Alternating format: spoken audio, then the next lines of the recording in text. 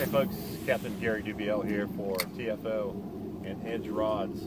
Speckled trout fishing this morning with the Edge Inshore Series ISR uh, light action rod.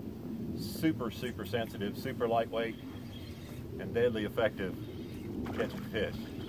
So we're on a pretty good trout, uh, speckled trout bite here uh, on the Neuse today. Really want to fill light bites, especially early and late in the season. Don't hesitate going out and grab you one of these.